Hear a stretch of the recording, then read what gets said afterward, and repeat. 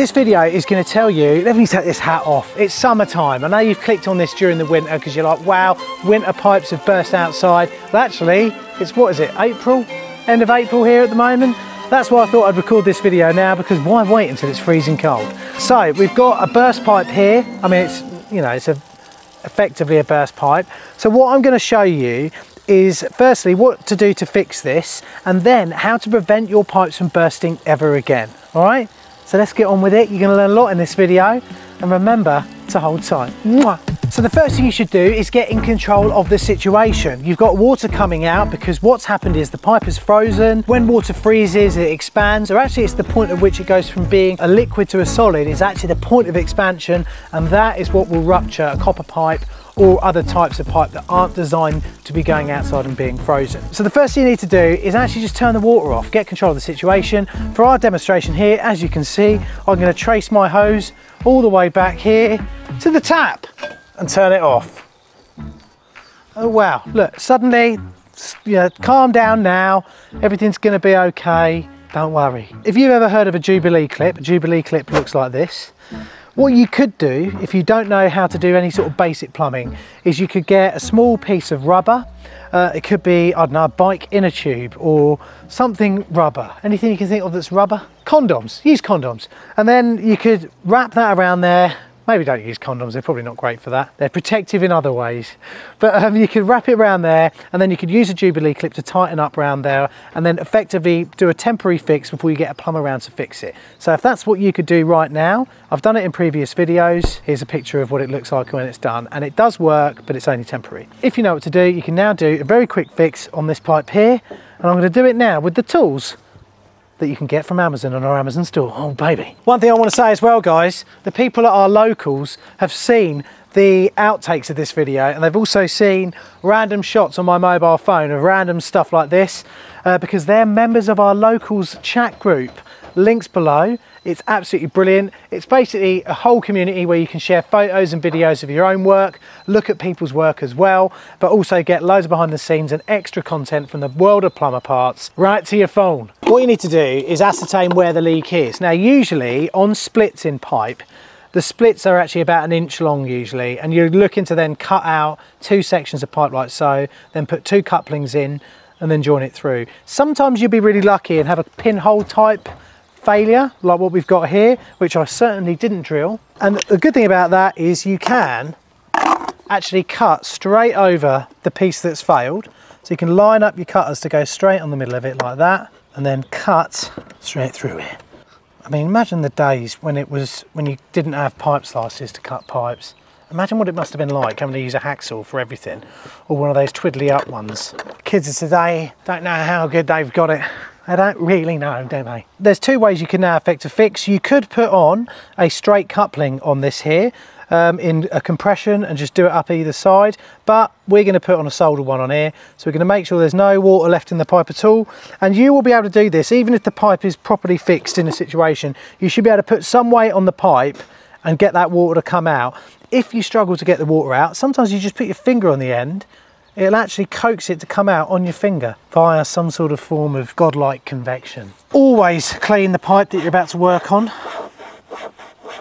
Make sure you get this or you can use one of these lovely little beasts. Actually the one I've got on here at the moment is for 22 mil. My uh, 15 mil one of these is gone but as you can see it's got some nice teeth in there that can clean up the end of these pipes nicely. Do this side here at this end. Make sure it's lovely and clean. Right of course flux your pipe using the fluctuator all these tools can be used and bought in our Amazon store links below and actually, if you've bought all the tools you need, it helps me a great deal if you just use our Amazon store link to buy anything you like. The more expensive, the better, because I get a tiny bit of commission out of it, and then I get to spend it on things that Emily wants. Straight coupling, always got one of these in my pocket. Put that on there, like so. And then you'd have to flex it and bend it real hard, try and get that flex, and then get that in. And if you want to make sure it's in properly you could draw a bit of pen on there or whatever. Bit of fire and then we're going to solder this up.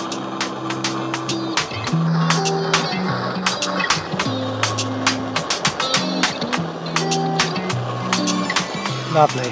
I don't care if it doesn't look absolutely amazing I just care if it doesn't leak. That's the first priority in my, my world. Once you've got that like that, give it a little bit of a clean down. So the next thing you got to think about is it's frozen. You fixed the leak now. Um, sometimes you might go, well, how? Why did it freeze? It had insulation all around it. Well, it doesn't matter. If you've got it insulated outside, sometimes if the weather is below freezing for a long amount of time, it is going to beat that insulation. So we need to think of an electrical way of keeping the pipe warm when it's below freezing. So let me introduce you to this fantastic product that you can get on our Amazon store below. I've not been paid to do this video. I'm just doing it because it's the right thing for you to do to stop your pipes from bursting. So let me introduce you to Trace Heating. That's not its name. It's not called Tracy, it's just called trace heating because it traces along the pipe, right? We've got this sort of thick cable here that gets nice and gently warm um, when this little thermostat goes below about five degrees. So that's the great thing about it. It's not on constantly or all the time or anything like that. At one end as well, on the inside of the house, we've got a little reset and a trip for that as well. Then a little connecting blocks as well that will be inside the house. And then after that, I've just got to wire it up to a plug. Now, one thing I would say is that some people would probably prefer to install this fully and properly by drilling a hole through the wall into the house or into the property. But one thing you could do is think, well, it's getting cold now. Um, I'll run an extension lead out and plug this in and make sure this is all watertight under a bucket or something like that. Cha-ching! Safe, isn't it? It's got to be. Spitfire. Anyway, uh, so what you do, you want to make sure as the first part of the install that your trace heating wire has got a really good touch on the pipe that you're trying to stop from freezing all the time. And what usually you'll get in trace heating stuff is some tie wraps and then you can tie wrap this on and just do one every sort of foot or whatever just making sure that it gets a nice touch on that pipe. If you want to get one that's at five meters or 10 meters or whatever they come in different lengths. Just check check the shop listing but only do that at the end of the video after you've joined our locals as well. And if you had joined our locals you never know. You might have found out some extra stuff about this. And so on. I think you get the idea. You're going to get this that's got a nice adhesion to that there. All right? It's currently what about 18 degrees out here max? About 18 degrees. My favorite age. So it shouldn't be coming on. And in a minute i'll get my thermal camera out and you'll be able to see that it's not on at the moment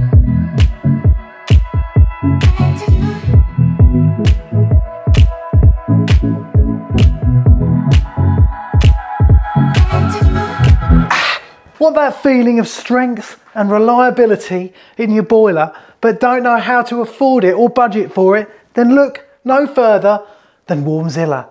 Warmzilla will allow you to finance your boiler options and buying options throughout the year so you never have to worry about getting all that money together. Now these are hard when you go down like this because you've got to go back again. Oh baby, we're getting some big old pull-ups today, aren't we? Should we go close arm just for the hell of it?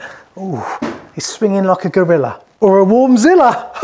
anyway, so once you've done that, you know that you'll be able to afford whatever boiler you need to heat your home. The other thing they do though is home protection as well. So if you have things like leaks, stuff like that, they will be able to help you out. So there you go. Now you know, oh, now you know what Warmzilla can do.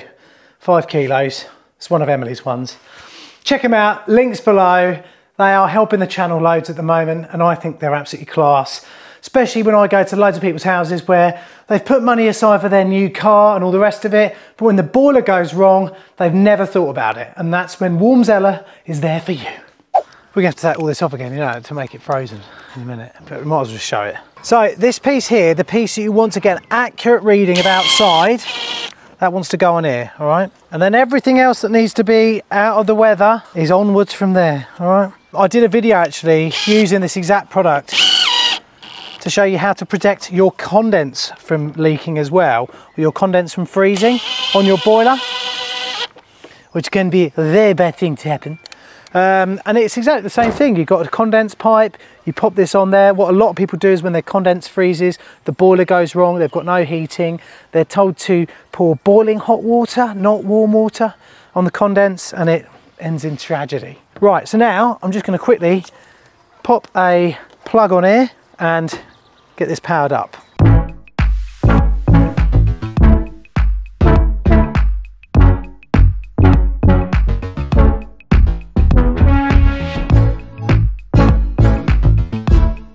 Right, so we plug this in.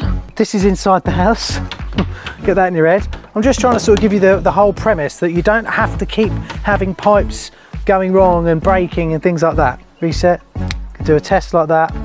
So that's holding, that's testing, that's holding, yeah? So we're all good there. Now, I'll get my thermal camera out and we're gonna prove to you, because I could hold this all day long and say, oh yeah, it's not coming on, but you know, let's get the thermal camera out and prove it.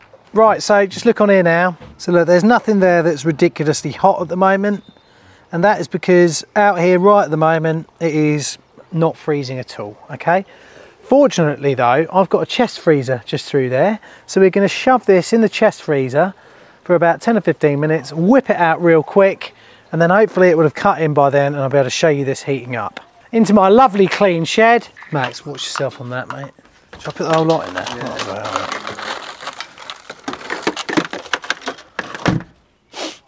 Let's wait, what, 15 minutes? Right, okay, so a few minutes later. Good luck it getting nice and dark in here, Max.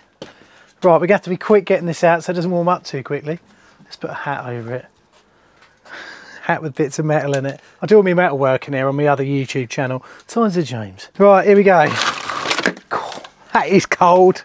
Right, we'll plug it in right now as soon as we can. So you get a little light on here that says operating. So that's operating now. Right, I just want you guys to see this getting warm. This wire now should be getting a bit, there you go. See that? It's cold at the bottom, already at the top. It's getting warmer and warmer down here. So you pop this on there, remember like I said, so everything gets nice and warm. So it's touching the pipe that you're trying to stop freezing. Chop off all your tails. So there you go, so that's getting lovely and warm now.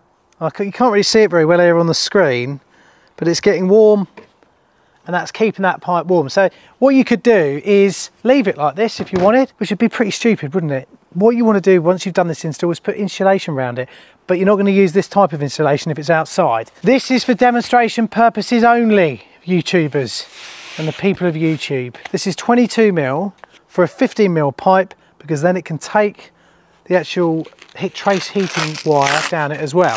So then what you do is you pop this on there like so and then you pop that on in. I want you to see if you see that end on, you'll see how this works. Then after that, you could tie wrap this up and make that nice. And this is what you do all the way down the pipe to stop it from freezing, to keep that heat in when this does cut in. You pop that around there. And there you go. If you did that all the way down here, this would only ever cut on when you needed it to. And this pipe, once you'd fixed it, would never freeze again. So the reason I say don't use this particular type of insulation is not because it's bad insulation or anything like that. It's because it's not UV resistant and you'll need to get an insulation. I think this is Climaflex. I think about Armaflex, something like that they make the UV resistant stuff. It's more expensive, but it is really good. I actually think it's probably got better insulating properties, but that's what you need. This is for demonstration purposes. If you left this out in the sun, eventually it would degrade to the point where you could just rub it off with your finger. So look, lovely little job. Let's get these all cut off. Never gonna freeze again. Never gonna freeze again. If you need any more help on basic plumbing stuff, especially on how to fix pinhole leaks, because there's loads of different ways, including some of the ones that I showed you here earlier on, click on this video here. It's a great video. And of course, subscribe and join my locals, or I might put a photo up of my bum.